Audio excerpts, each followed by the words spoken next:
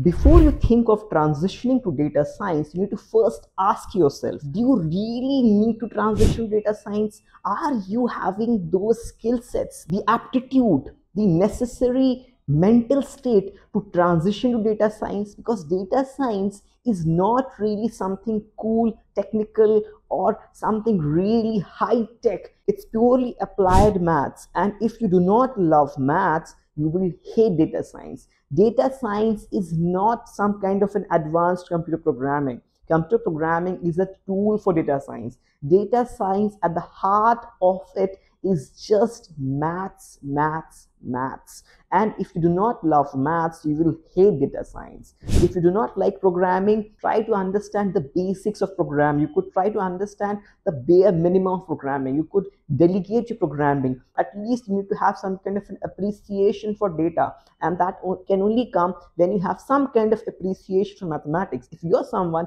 who feels that what's the use of trigonometry? What's the use of calculus in real life? Then you're probably not cut out for data science. Now, let's say you have moved past the stage now you know that you have the required mental clarity. You know for sure you want to transition to data science. Now, how do you do that? To do that, there are two ways. First is the conventional way, and second is the non-conventional way.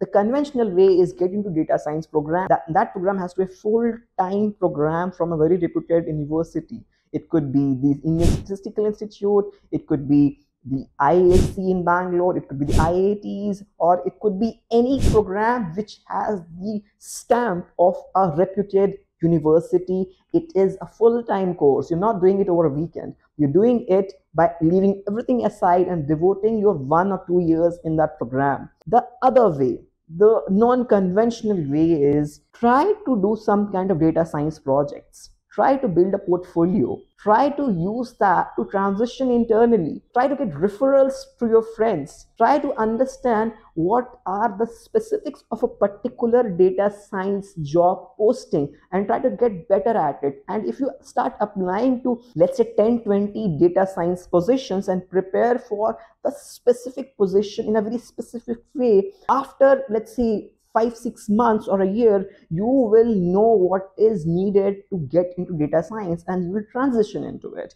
Now, in this second non-conventional way, the building portfolio way, you have to make data science projects from scratch. Now, how do you do that? to do that you have to find problems in your life you have to find problems which you feel passionate about and turn them into a data science project solve them or at least find an approach and try to think it through. What could be a possible solution? What kind of data do you need?